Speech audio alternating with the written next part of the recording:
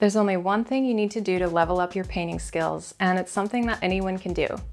Practice.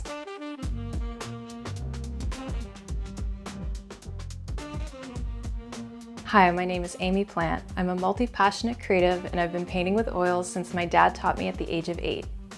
Most of the skills I've picked up over the years were self-taught, and more than anything, I've learned that practice is the only way to improve. If you've already got the basics of oil painting down, but are looking for some exercises to improve your technique, this is the class for you.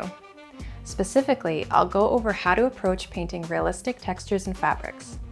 I'll give you my formula for how to choose which brush to reach for and how to use it to paint what you see.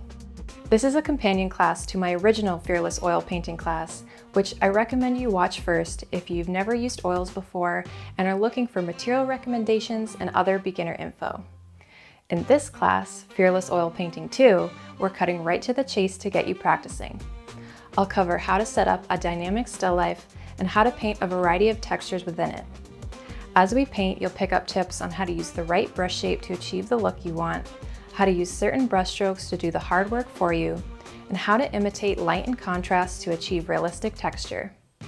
By the end of this class, you'll be full of useful and practical knowledge to continue your oil painting journey.